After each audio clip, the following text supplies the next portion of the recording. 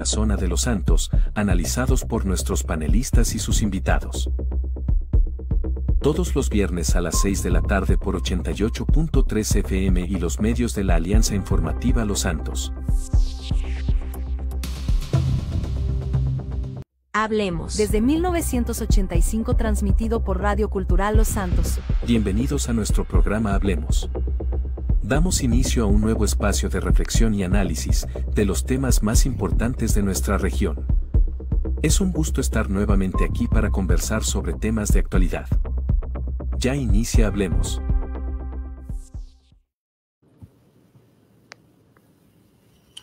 Hola, saludos, muy buenas eh, noches. Gracias por estar en esta eh, edición especial hoy del programa Hablemos una entrevista con el ministro de Agricultura y Ganadería, don Víctor Julio Carvajal Porras, quien agradecemos por estar con nosotros después de un miércoles de eh, sesión del Consejo de Gobierno. Y hoy también eh, mi compañera Beatriz Jiménez incorpora acá al programa, así que bienvenida Beatriz. ¿Qué tal, José? Muy buenas noches para usted y para todos nuestros escuchas y también televidentes. Un gusto estar con ustedes en este programa con información, eh, muy detallada de temas muy relevantes para toda nuestra zona de Los Santos y también, por supuesto, que para todo el país. Como usted lo dice, una edición especial. Ya le vamos a contar por qué, porque son buenas noticias eh, para todos los productores a raíz de, de toda esta situación eh, que están pasando. Son las 6 y 36, completamente en vivo, así que bienvenidos a Blex. Así es, muchísimas gracias, como le decía al señor ministro, por estar en, en compañía de nosotros después de este día de, trabajo y que sabemos que continúa. las jornadas eh, para ustedes no tienen horas, don Víctor Julio. Muchas gracias por estar acá en el programa Hablemos. Buenas noches, Josué. Eh, muchísimas gracias a ustedes por, por la oportunidad de compartir y, y, expresar un poco de lo que hemos estado trabajando. Sí, hoy es un, es un día de, los miércoles es de Consejo Gobierno, entonces salimos tarde y, y ahorita casi que camino a, a Guanacaste porque tengo una presentación mañana, entonces pero es, es parte del día a día y de, de, las obligaciones de este puesto que son bastantes. Así es, eso, eso imaginamos, ¿verdad? Eh, no solamente es el sector cafetalero que debe atender, muchas veces creemos que solo eso, lo escribimos en nuestra región, ese es un, pues, un tema bastante amplio, ¿verdad? Lo que usted comprende. Ahora, si entremos en, en detalle, eh, usted estuvo ya por acá hace eh, ocho días, un poquito más, en, nuestra región, ya conoce el, contexto, y sabemos que no es un contexto solamente de, lo que vivimos antes, otras regiones productoras del país. Eh, cuéntenos, las medidas incluso ya tomadas, usted se comprometió a una serie de, de, acciones y ya hoy vimos una de ellas en el Consejo de Gobierno bastante pronta, así que como, cuéntenos esa primera acción con el sistema de banca para desarrollo y cómo es que va a funcionar, ¿verdad? Bueno, el, el, sistema de banca para el desarrollo tiene diferentes operadores, operadores financieros que canalizan recursos de banca para el desarrollo.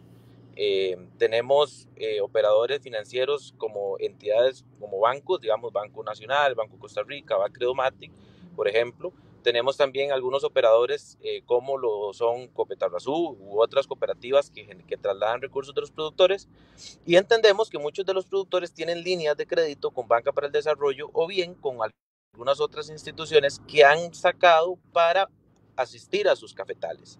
Estas líneas de crédito pues obviamente están respaldadas por facturas de insumos y demás y debido a la situación que estamos viviendo en todo el contexto amplio de la situación cafetalera, eh, tenemos un adelanto bastante bajo que hace que eh, en algunos casos, si tenemos una productividad, mm, digamos, media, es probable que no podamos cumplir o con el adelanto poder pagar todo, todo el dinero que nosotros le debemos a estos operadores financieros, de tal manera que llegaríamos a marzo, que sería como la fecha que, que más o menos entiendo yo, que es la, la mesa de la, fecha en cual yo, donde yo debería tener el saldo en cero, pues voy a tener una cuenta pendiente todavía. Y lo que estamos diciendo es para que los adelantos del, del productor no se, le, no se quede sin estos ajustes que se van a dar de cosecha durante el tiempo y no se quede sin la posibilidad de mantener la línea de crédito activa, es ese, ese dinero lo vamos a trasladar a un mediano largo plazo de manera que puedan entonces ellos iniciar la temporada de invierno a la asistencia de café con la línea de crédito al día y en cero y una operación bastante favorable de mediano a largo plazo en donde eh, los productores puedan tener una tasa de interés igual a tasa básica pasiva, que en este momento es como menos del 5.5%, anda creo que en 5.30 y algo, si no me equivoco. Y de esta manera eh, solucionamos, digamos que la situación inmediata de los productores, creemos nosotros, y en paralelo estamos trabajando otras soluciones para eh, en los próximos días seguir dando buenas noticias y también esto es, es un apoyo por parte del gobierno a, a todo el sector que para nosotros es importantísimo. Víctor mencionaba la tasa, eh, la tasa básica pasiva está en 5.33% para las personas que, que, nos están viendo, bueno, el día de hoy, ¿verdad? Eh, don Víctor, también otro tema importante es cuándo entra en marcha este SBD a tu lado, que tengo que así es el nombre. Eh, inicia eh, ya está en vigencia, digamos que ahorita es un tema de los operadores que tienen que hacer ya las gestiones con Banca para el Desarrollo, pero esto fue aprobado por el Consejo Rector en firme el día de ayer, en horas de la mañana, en la sesión de Consejo de, de, Consejo de Banca para el Desarrollo, en la cual yo soy parte, se aprobó por unanimidad y ya está vigente, entonces es que los operadores hagan las gestiones necesarias para eh, avalar, eh, acceder a estos recursos y poder darlo. Inicialmente, estaríamos gestionando con 5 mil millones de colones, que en caso de ser necesario ampliarlos, pues estaríamos gestionando la ampliación para poder salir adelante. Ok, perfecto. En este tema de, banca de desarrollo, eh, el viernes anterior fui, también conversamos este mismo tema con el economista Federico Vargas. Eh, esa intermediación que realizan eh, pues los, los, operadores muchas veces eh, para mí no se convierte justa, ¿verdad? Eh, más si hablamos de eh, tema de economía social solidaria, ¿verdad? Como lo es el cooperativismo. está bien, un punto, punto y medio por todo el tema administrativo y demás que quizás eso conlleva, por supuesto, eso lo sabemos. Sin embargo, vemos en, en muchos casos que hasta el doble y en otros casos lo, lo, superan, ¿verdad?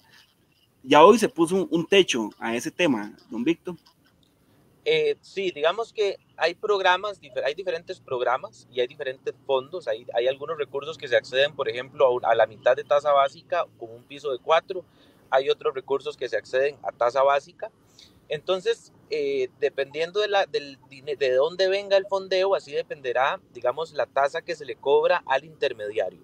Nosotros entendemos que hay un riesgo asociado en el préstamo de estos recursos y yo creo que si eso es uno de los detonantes que está haciendo que la tasa de interés eh, se eleve, perfectamente podemos empatarlo con un aval de Fonas Café y de esa manera bajamos el riesgo y deberíamos estarle exigiendo, digamos, que para que ellos tengan este aval, el Fonascafé podría condicionar perfectamente a que el, la tasa de interés eh, o, el, o, el, diferencial entre lo que presta al, al, este margen de intermediación sea completamente menor y pueda de esa manera llegarle el beneficio al productor.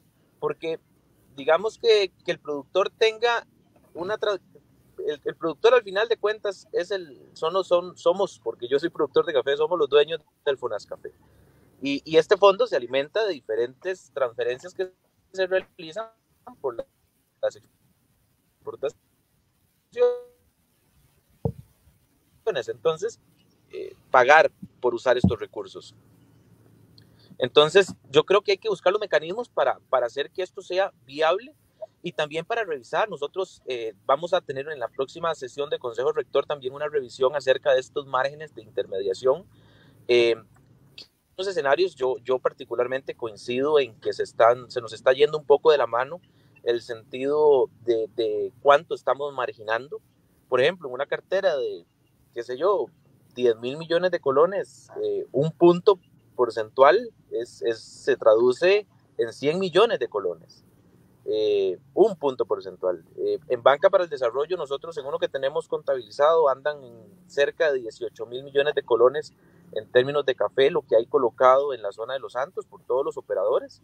Eh, y eso es un monto significativo que si nosotros multiplicamos por, por, por, por un 1%, es, es bastante, ¿verdad? Entonces yo creo que debemos, como Consejo Rector, también tomar medidas si, eh, los, si los operadores financieros no las toman de previo. Ok, vamos a, otro tema. eh, hay factores en el, café y esta no es la primera crisis que, enfrentamos. Tanto Beatriz como yo, además de periodistas, de comunicadores, somos productores de café, entonces eh, conocemos la realidad. Eh, no es la primera crisis que enfrentamos, nuestros padres les, ha tocado pues, bastante duro. Esos factores externos, ¿verdad? Eh, siempre estar pendientes de las cosechas de Brasil, por supuesto que el precio de bolsa y demás.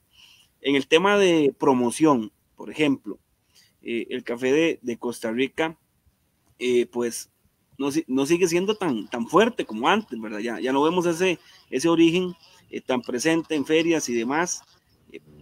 Eh, ¿Qué falta, don Víctor? Y, también le, le, menciono acá parte de lo que veíamos el año pasado en, chats y, en distintos reuniones era que, que, el ministro no se hacía presente a las, a las reuniones de junta directiva del ICAFE, ¿verdad? Era lo que, lo que recibimos. Pues, ¿Es realmente eso cierto? Porque decíamos, ya, el ministro nos tiene en abandono realmente usted ha participado de esas sesiones y cómo es ese trabajo, ¿verdad? De, del MAC con el ente rector de, de, de, la caficultura en Costa Rica, como lo es el ICAFE.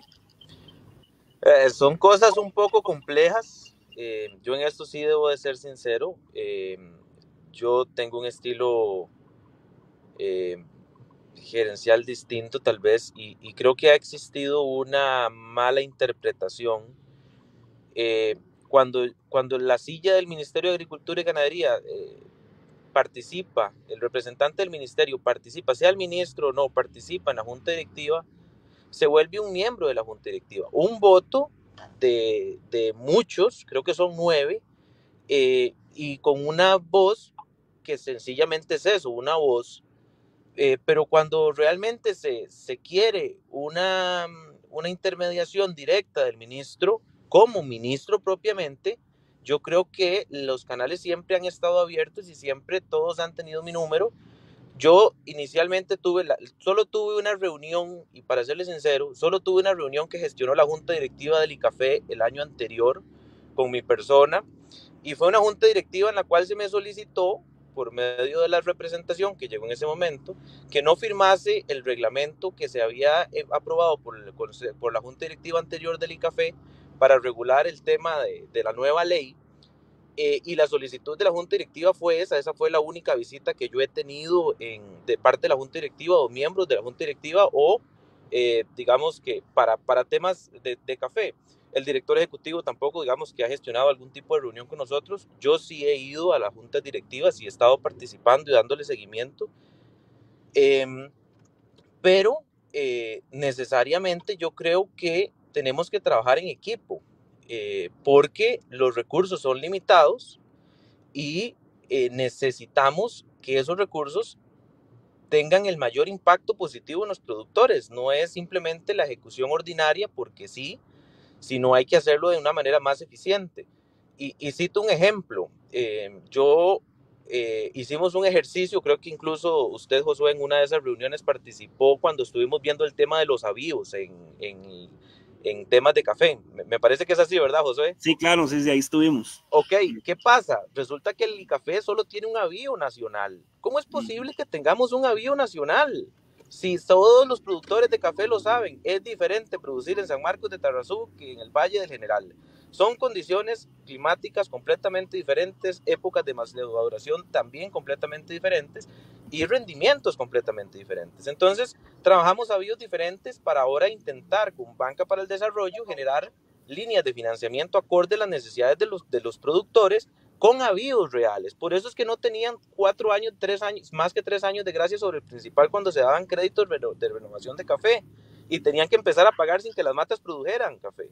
Y pues cierto, es que los avíos que presentó el café no funcionan en, en ese, en ese momento, para lo que se quieren hacer. Entonces, yo, eh, en el tema de promoción, que es parte de lo que usted me está consultando, yo sí creo que hay que hacer una revisión porque el premio por café de Costa Rica, que, popularmente lo conocemos, de aquí era, digamos que relativamente sencillo vender café porque di, teníamos una demanda mayor a la, a la que nosotros, a la, oferta real, y entonces teníamos muchos interesados en comprar café. Hoy pareciera que el escenario cambia un poco y hay otros actores que entran en, en el juego y ahora el café de Costa Rica hay que salir a venderlo un poco diferente y ya eso nos lleva a replantear la estrategia. entiendo que el ICAFE tiene un, tiene un gerente de promociones que es también de la zona de Los Santos. Eh, y yo sí he pedido, digamos, en junta directiva que hagamos una sesión específica para conversar sobre el tema y ver cuáles son los objetivos y cuáles son los rendimientos y también cuáles son los resultados que hemos tenido eh, históricamente en cada una de las inversiones o participaciones en estas ferias eh, para el posicionamiento del café de Costa Rica. Yo creo que son cosas, cosas muy importantes eh, indistintamente de si yo logro participar o no logro participar, hay que entender algo. Mientras estaban dando las sesiones de junta directiva, yo estaba en consejo gobierno, entonces es muy, muy difícil que yo me, me, salga del consejo de gobierno y pueda ir a, a las sesiones de junta directiva del ICAFE, porque eso no sería, no sería racional pensarlo. Eh, y debido a un cambio eh, de hora del Consejo de Gobierno, yo ahora sí puedo participar en las juntas directivas del ICAFE, que se dan los miércoles en, horas de la mañana. Y entonces, al menos hasta que yo ingrese a Consejo de Gobierno, he estado participando. Participé en la última del año, participé en una extraordinaria el 2 de enero y participé en la primera junta directiva de, que tuvimos el miércoles. Hoy hizo ocho días.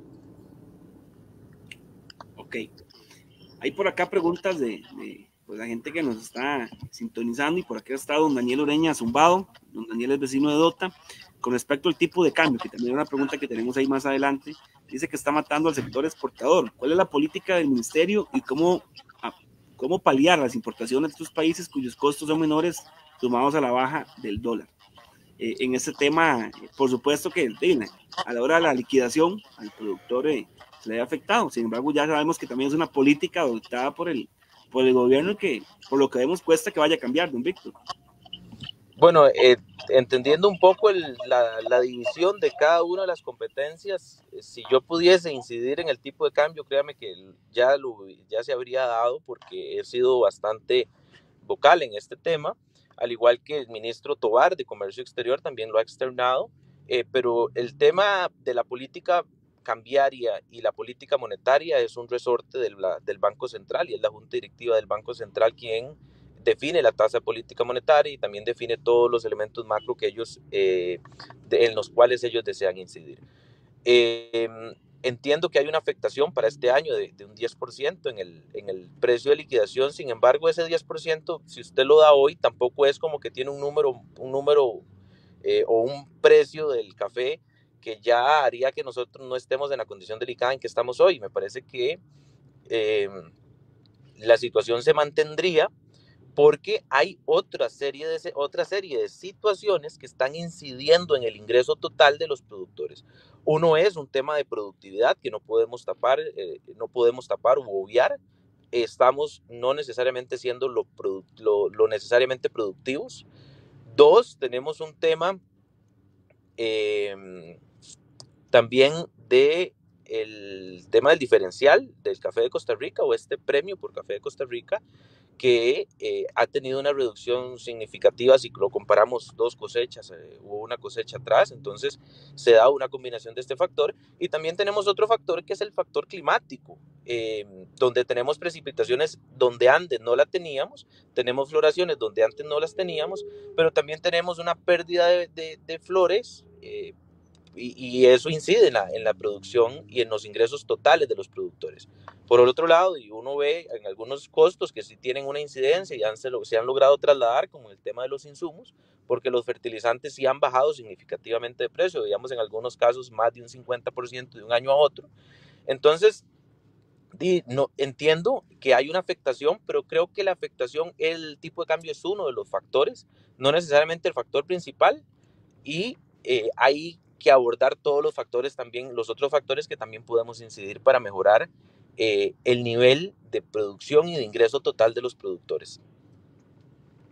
Bueno, y es que ahora que, que don Víctor tocaba este tema de eh, los sectores y los aspectos que han afectado el, sector cafetalero, pues sí, sin duda, eh, pues hay algunos en los que es muy difícil manejar el tema clima, es súper complicado, ¿verdad? Contra eso, pues no hay, mucho que hacer, eh, pero en lo que sí podemos hacer son todos estos temas que, que usted también eh, mencionaba. Ahora, un aspecto es que, eh, y Josué lo tocaba al principio del programa, es que los cafetaleros estamos acostumbrados a lidiar con estos, em, estos temas porque siempre han existido. El, el, problema yo creo que es que se nos vino todo junto en este momento. Entonces, por ahí tal vez em, ese, ese sentimiento de, de, susto, ¿verdad? Para muchos, de miedo, de temor, y a esto se le suma también el endeudamiento que hablábamos anteriormente y que eh, preocupa muchísimo al, productor más allá, ¿verdad? De, de, lo que se paga ahorita es también el tema del año que viene, se termina de recolectar café y sabemos que se tiene que ir eh, al, al, tema de podar, ¿verdad? Los trabajos. Entonces, eh, también el productor por ahí eh, siente ese temor y yo creo que también sería importante em, no solo preocuparnos, sino ocuparnos en este tema, don Víctor. Sí, sí, sí, digamos que el, el, tema del, yo diría que es un sobreendeudamiento en muchos casos, ¿verdad? Uh -huh. Había una expectativa de ingreso futuro que no se materializó y es, termina siendo mucho mayor al ingreso real. Uh -huh. Y eso compromete necesariamente los pagos. Por eso nosotros generamos este programa, que es un programa que se activa, digamos, bajo solicitud del, del, de, del ministerio y esperamos poder ayudarles. Ahora, vienen los otros puntos y cómo, cómo abordamos los otros puntos, porque eh, mucha gente me dice, bueno, es que el seguro, podemos tener un seguro. Bueno, si es que hoy vamos a los seguros que tenemos, lo que tenemos son seguros paramétricos que están asociados a un tema clima. Entonces me decía un productor, mira, es que se me entró una, un hongo y estoy perdiendo un montón de plantas, fui a Lins y me dijeron que no. Y digo, sí, es que no le van a dar porque no está dentro de los parámetros que activan el seguro.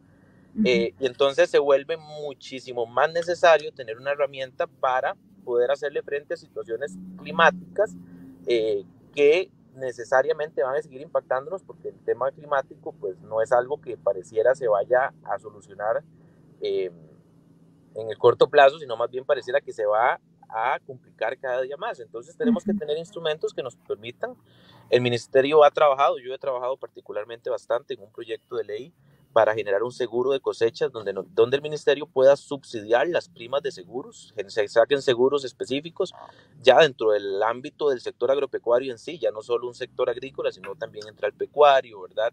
Y poder ampliarlo de tal manera que podamos utilizar reservas y generación de presupuesto para subsidiar primas a los productores de seguros más completos y de esa manera un productor, si tiene que pagar, qué sé yo, 100 mil colones de, seguro, nosotros podamos decirle, bueno, pague solo 30 mil o pague solo 25 mil o solo pague 50 y nosotros le ponemos el restante eh, para poder generar un impacto positivo y, que, y poder hacerle frente de manera más rápida cuando tenemos situaciones climáticas complejas eh, o de plagas.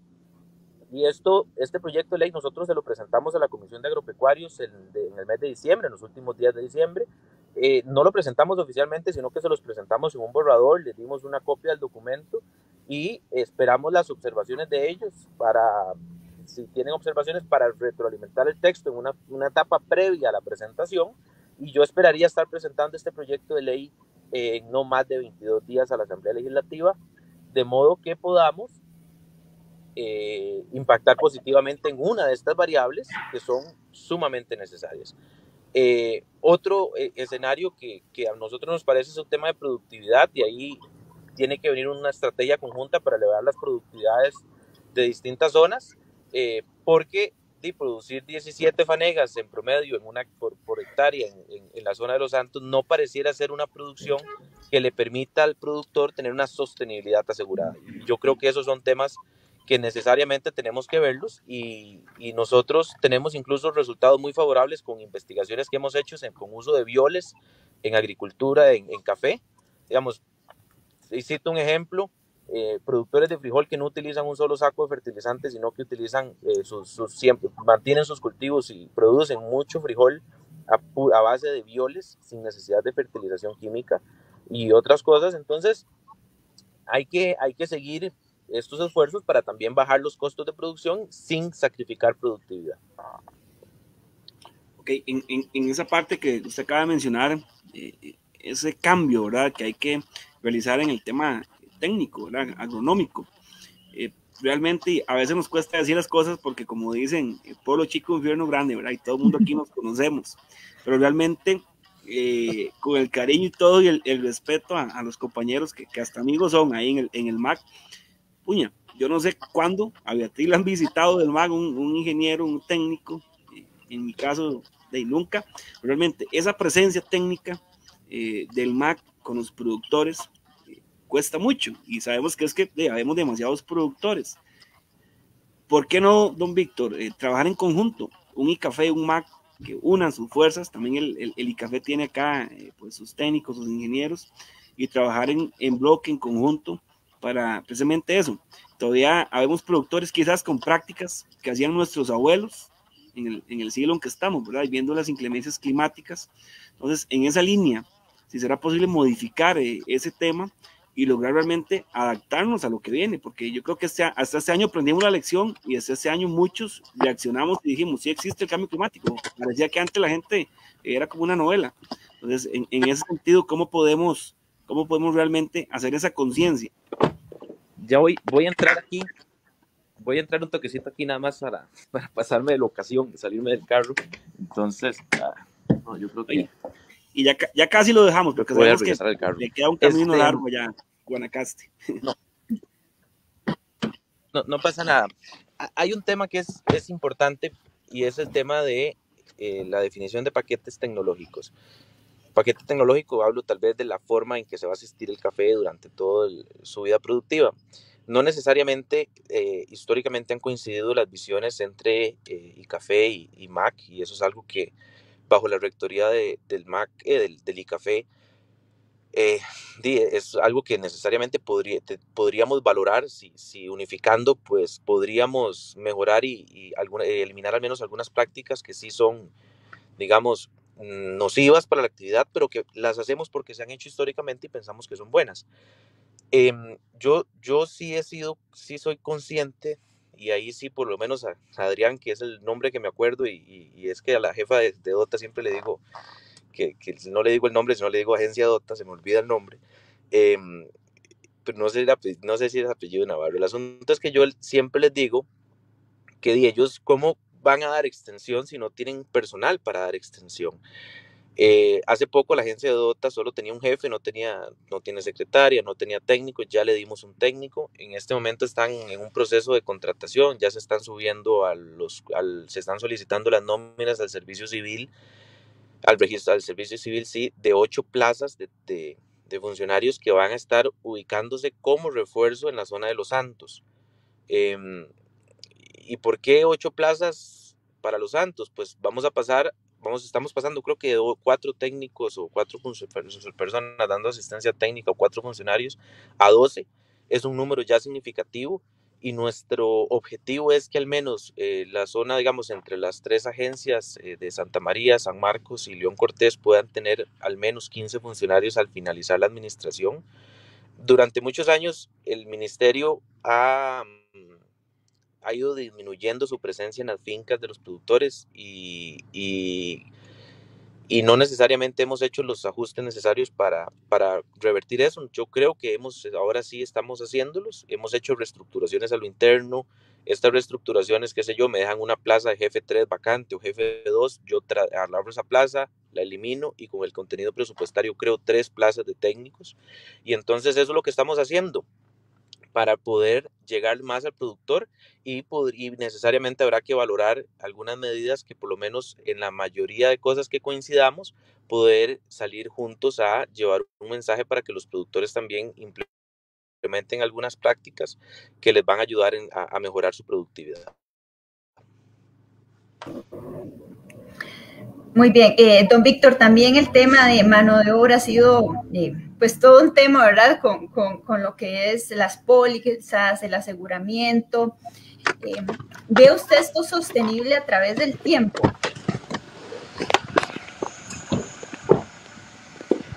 ¿Se me cortó, Josué? No, ahí estamos, don Víctor. Ok. Sí. Ok, ok. Sí, eh, eh, habrá que ponernos, a ver si nos logramos ponernos de acuerdo, pero hay, hay un director de extensión, hay algunos lineamientos y no necesariamente tenemos que coincidir en todo, pero en aquello que coincidamos creo que deberíamos poder llevar un mensaje conjunto a los productores. Ok. Con el tema que les decía Betis, el tema de, de mano de obra, que este año también se, complicó. Eh, incluso ustedes hicieron una jornada acá para poder regularizar y todo el tema, sin embargo, como que hay una resistencia eh, para eso, que se nos está haciendo hasta difícil. Este año se hizo difícil que llegaran acá a Los Santos con el café maduro y todavía estaban muchos del otro lado. Por supuesto que la huelga que había por allá en Panamá nos afectó. Sin embargo, ¿cómo hacer que el productor no, no, sienta temor, verdad? A regularizar, a ponerse en regla. Vea, esto es un tema muy complejo. Em, nosotros, entendiendo la situación de los productores, generamos estas campañas, incluso estuvimos generando boletines, llamando a la gente que fuera a regularizar.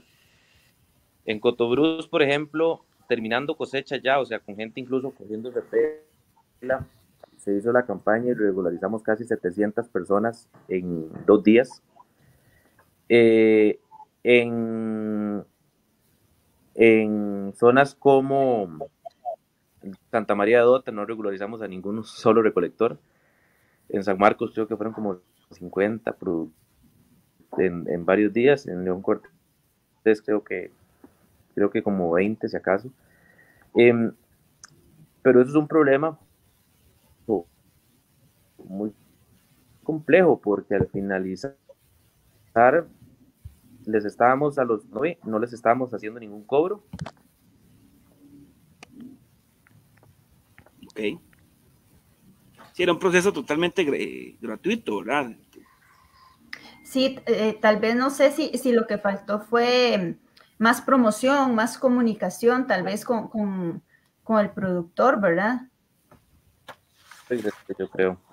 El, asunto es cómo le, cómo le decimos al productor que, por ejemplo, para Pacto Verde necesitamos emitir una certificación de que se cumplen todas las disposiciones laborales si vamos a revisar la nómina y no existe ni siquiera un recolector asociado a esa finca.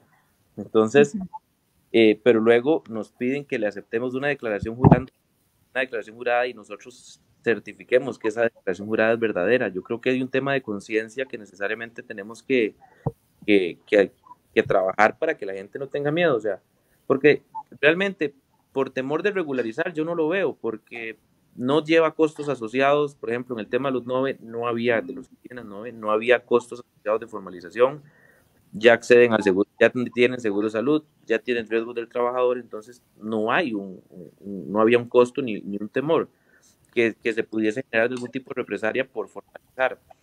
Eh, sin embargo, eh, nosotros iniciamos desde el mes de noviembre a revisar el protocolo que está hoy de ingreso de, recolectores, no de recolectores, sino de mano de obra migrante asociada a labores de cosecha, que es también, por ejemplo, labores de caña, labores de melón.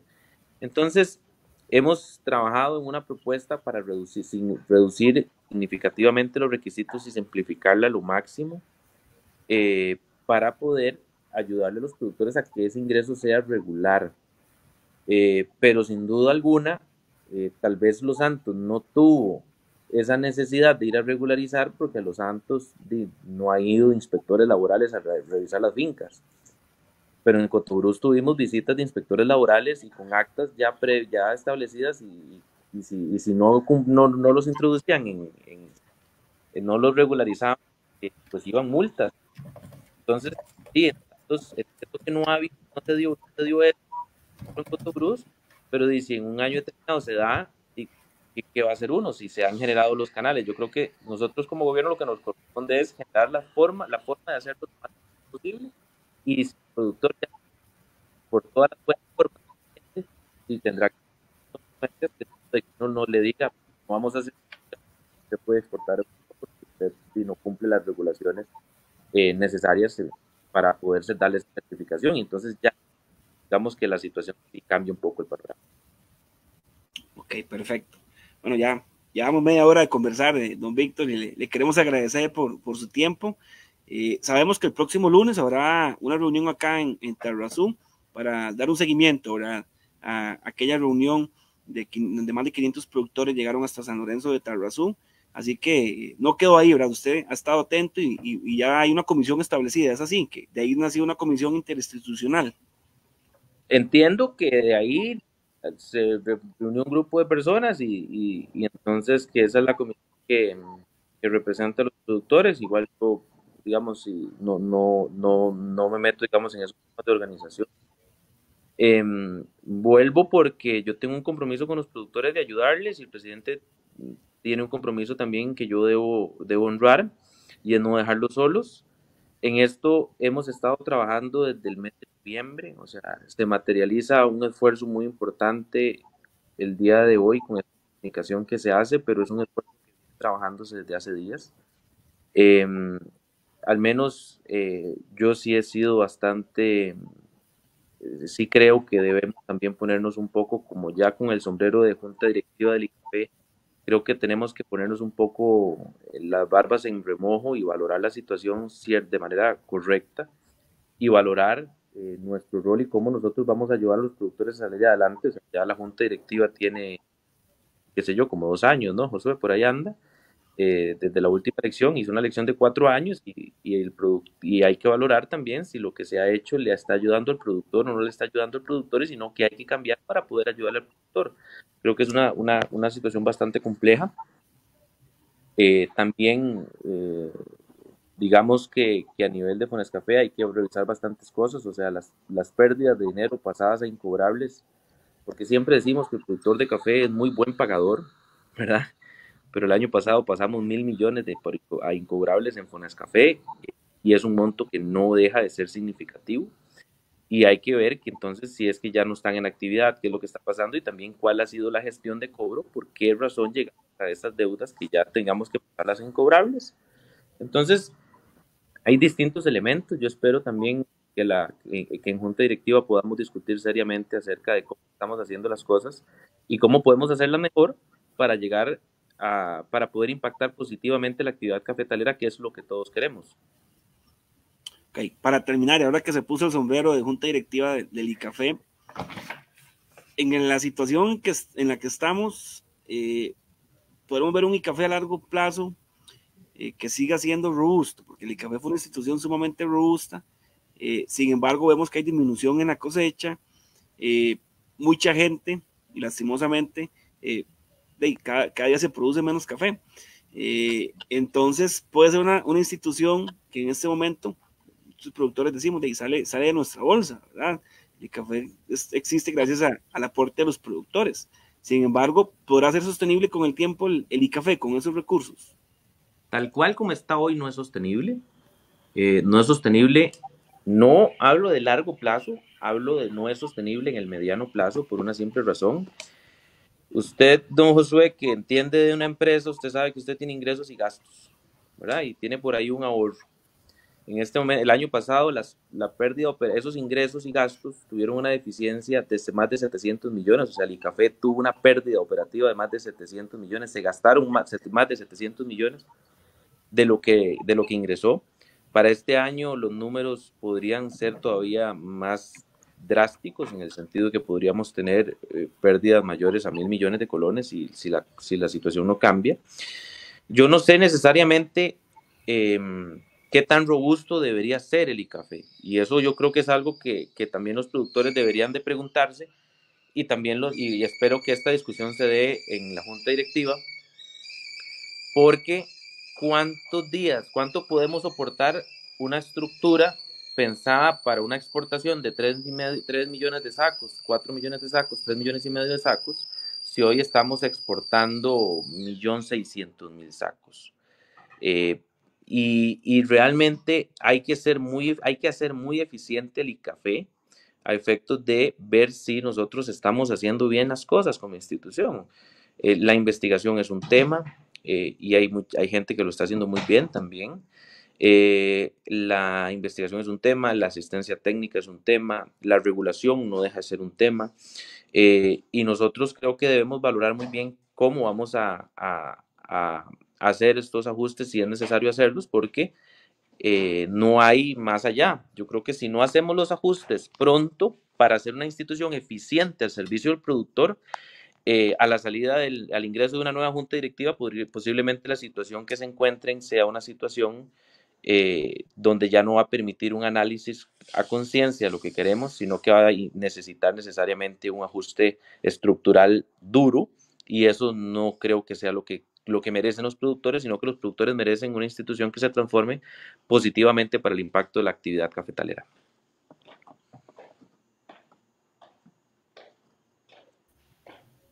Don Víctor, muchísimas gracias eh, ya para cerrar por eh, su tiempo.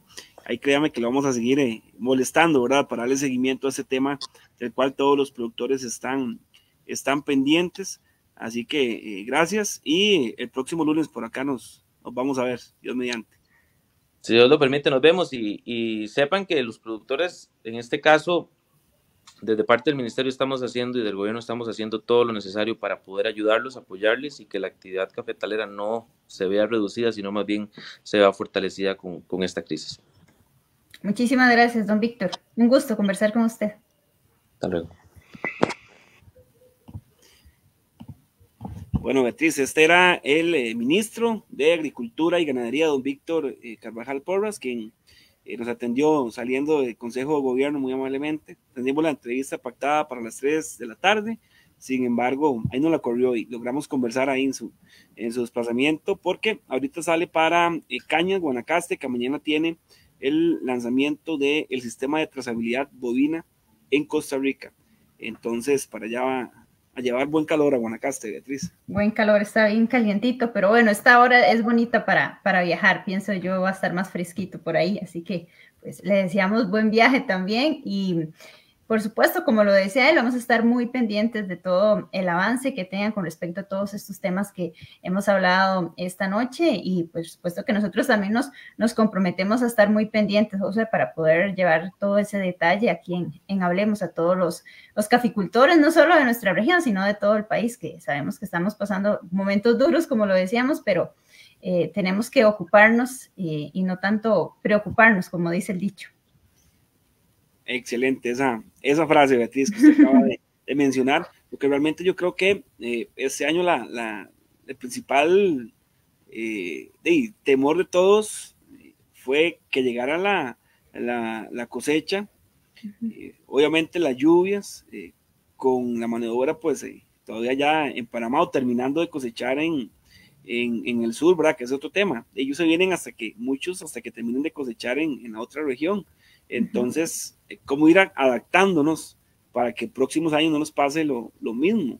Eh, que es un tema también bastante difícil porque yo, yo, yo no, no sé, ojalá no pase, pero yo, yo no espero que el otro año nos agarre así como con las manos arriba nuevamente este, este tema, eh, porque realmente es lo que nos ha afectado. Y en las zonas de maduración más temprana acá de la región, las pérdidas se hablan de hasta un 50%, es decir, es bastante, ¿verdad? Esa, esa cantidad de café, llegar todo el proceso, todo el año para que se nos caiga, como que no tiene mucho sentido durar ese, ese trabajo.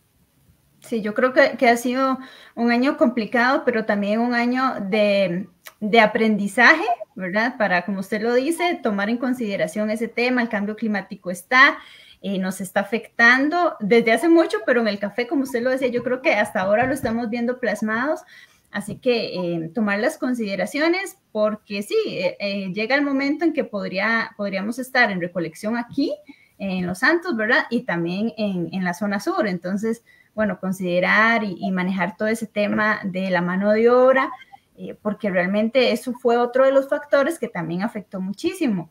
Em, la, tardía llegada de de los recolectores, no solo de, de, de, Cotobruz y de la zona sur a la zona de Los Santos, sino de Panamá, ¿verdad? Que también se, se tardó muchísimo eh, ese tema y que para nadie es un secreto también eh, el tema de, de la recolección eh, de café, de lo que son los recolectores. En nicaragüenses, muchos también han optado por irse a Estados Unidos, entonces muchos de ellos ya no vienen a, a recolectar café. Y pues sabemos que dependemos prácticamente en un 100% de mano de obra extranjera para poder recolectar nuestro cafecito.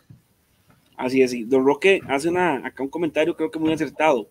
Dice que si no hay investigación, no puede haber innovación ni transferencia tecnológica.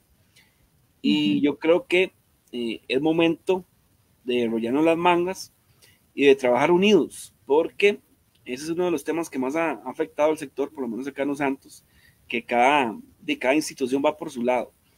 Y lastimosamente, yo doy el ejemplo del laboratorio de, de, aguas y suelos que tenemos acá en, en, en, en la UNED, en el Rodeo Tarrazú. Sí. Ya tiene como tres años de estar totalmente equipado, sin embargo no puede entrar en, funcionamiento por un tema burocrático. ¿En sí. cuanto puede ayudar eso al productor, verdad? Para tener análisis, por ejemplo, bien, bien acertados Y por qué no, también es otro tema que, que tampoco se, se coincide, eh, de las regiones productoras eh, en otros países, eh, Colombia es un pionero en eso, eh, pues tienen fincas y tienen laboratorios dedicados a investigar realmente. Y cuando lanzan una variedad a los productores es porque ya está más que comprobada.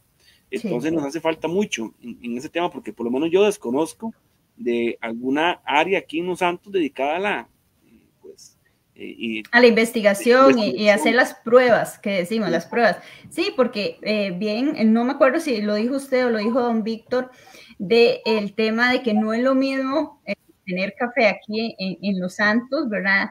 Em, a Pérez o dentro de la misma zona de Los Santos hay muchísimos eh, microclimas, ¿verdad? Muchísimas eh, altitudes y todo varía, o sea, varía muchísimo em, una variedad de un lado a otro, ¿verdad?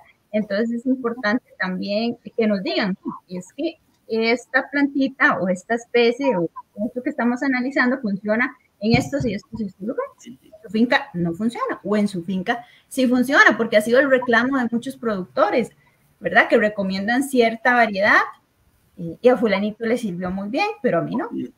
Sí, el, el, famoso boca a boca, incluso también hay muchas prácticas agrícolas que realizamos eh, que ya han sido como muy tradicionales, de aplicar X, X fórmula, nada más porque ya la aplicaban en, en, octubre o la aplicaban en tal fecha. Ya era como algo tradicional que se hacía, a ver si realmente el suelo está necesitando, las mismas eh, eh, pues, plantas lo están requiriendo. Entonces se debe de ser mucho más preciso y aquí entra otro término, agricultura de precisión, con un tema de pues recibir eh, bajos precios por la cosecha y también por ahí la queja de muchos insumos que no bajaron de precio, se quedaron altos, hay que ser más precisos a aplicar a esas plantas de café y para poder cuidar también un poquito más esa, esa bolsa que es la que nos tiene hoy en esta situación. Claro, yo creo que es un tema también de ir cambiando, de ir ¿verdad? Eh, renovando, porque tal vez como usted lo dice, nos quedamos en, en el pasado, ¿verdad? Y ahora tenemos que irnos renovando. Em, importantísimo, ¿verdad? Como usted lo decía, analizar eh, cómo está mi suelo, ¿verdad? El suelo de mi finca, el suelo de su finca, es diferente, va a necesitar diferentes requerimientos. Yo creo que hay que verlo, em, hacer la comparación como cuando vamos a un médico. Si a usted le funcionan sus pastillas de las, las pastillas de la presión tales, a mí no necesariamente me van a funcionar, más bien me pueden matar, ¿verdad? Entonces, veamos lo mismo en una finca, en una finca, en un suelo, en una plantita. Em, y, yo sé que lleva tiempo, que lleva eh, compromiso de parte de no solo del productor, sino de, la persona profesional que nos está asistiendo. De ahí también, como usted lo decía, la importancia de contar con profesionales en agronomía, ahora los ingenieros que estén también de la mano de, del productor, ¿verdad? Que puedan estar ahí. Y yo sé que hay algunos productores que cuesta un poquito, pero yo creo que, que este es el momento de, de generar esos cambios positivos, que al final de cuentas veámoslos como un beneficio para, eh, no solo para nosotros, sino para las generaciones, porque la idea es que el café se siga manteniendo, ¿verdad? Que, que yo a veces escucho comentarios muy pesimistas, como que no, ya el café no sirve, ya aquí no, no se puede, pero yo creo que es trabajar en lo que se tiene, ¿verdad? Y mejorar, mejorar productividad, que, que yo creo que es el fin de, de todo eh, caficultor y también la calidad, que es importantísima también mantenerla. Así es, y, aquí don Oscar Mora, quien saludamos, eh, don Oscar Mora es productor, además tuvo una trayectoria en, el tema de, finanzas eh, súper importante, eh, también miembro del Consejo de Administración de Copedota, dice que el productor debe tratar de diversificar sus cultivos con apoyo de las cooperativas y así diversificar sus ingresos. En esto la investigación debe jugar un rol importante para definir productos o proyectos. Definitivamente, pues, el tener algo más que el café, yo creo que viene a, ayudarnos un, un, montón. Y por ejemplo, yo veo, eh, Beatriz, ¿por qué no eh, el tema turístico, ¿verdad? en la zona que ha venido en auge, en crecimiento y demás. Y conversaba eh, con un miembro de Catur Santos en un estudio que realizó el ICT, por ejemplo, y el ICT dice que no promociona más tan fuerte la zona de los Santos porque la capacidad de, de hospedaje, de habitaciones es sumamente baja. Entonces yo creo que aquí hay una ventana de oportunidades enormes. Eh, alguien del GAN, eh, alguien de fuera de nuestro país, eh, yo creo que amanecer en una, en una cabañita en medio de un cafetal pagaría sus dólares, ¿verdad? Entonces, ¿por qué ese tipo de alternativas, como dice don Oscar, de la mano de las mismas cooperativas, eh, para ir creando una forma que el productor reciba algo más en su bolsa que no sea solo café. Totalmente eh, de acuerdo. Y en su momento, ¿por qué no? También poder generar empleo a otras personas. De eso se trata, ¿verdad? De, de ir creciendo. Y ahora que usted lo decía, José, uno a veces, mm, como nació entre cafetales, ¿verdad? No lo ve algo tan, tan especial para otras personas, ¿verdad? Pero usted lo decía, cierto, una persona de la gran área metropolitana eh, o de cualquier otro lado que no haya crecido con el café es algo lindísimo y que se puede, que se puede hacer y yo creo que todos tenemos em, ese espaciocito en la finca para hacerlo, pero a veces no nos atrevemos. Entonces es también, como usted lo dice, tener ese apoyo que a veces uno necesita para poder emprender ciertos proyectos. Así es. Bueno, muchísimo. Íbamos a hablar media hora y ya llevamos 50 minutos, muchísimas gracias por estar eh, esta noche acá en, en su programa Hablemos y invitarlos de paso porque la próxima semana tendremos los debates a través de la Alianza Informativa Los Santos eh, con los candidatos de los cantones de nuestra región, iniciando el martes, si Dios lo permite, a las 7 eh, y 30 de la noche, con los candidatos de León Cortés. El miércoles será el turno para los de Tarbazú y el jueves para los de Dota. Así que están cordialmente invitados.